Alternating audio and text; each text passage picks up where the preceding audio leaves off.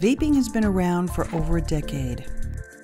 With millions of vapers across the globe, hardly any health issues have been reported until now. So, why all of a sudden so much bad press and junk science?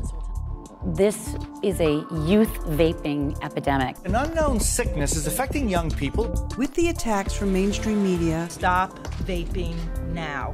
their vaping kill headlines seem to discount the facts. These products are just simply not safe. Some say e-cigarettes aren't dangerous. But science shows nicotine can harm teens' developing brains.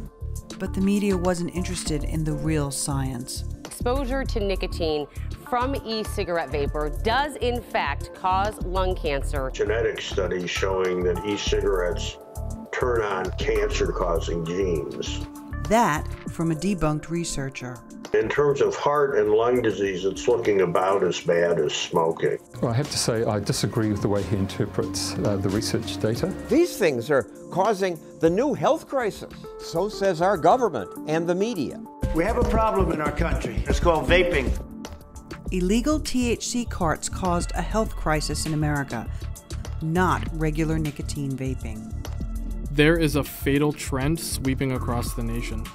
But contrary to what the mainstream media is claiming, this is not due to regular vaping. It's about 95% less harmful than a normal traditional cigarette. Tobacco is so uniquely harmful that even if there were some minor long term effects, and there's no evidence of that yet from vaping, they're nowhere in comparison with the harmful effects of tobacco.